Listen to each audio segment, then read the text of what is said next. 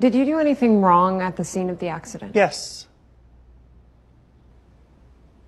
I did four things wrong. I applied the tourniquet at the brachial artery instead of mid forearm.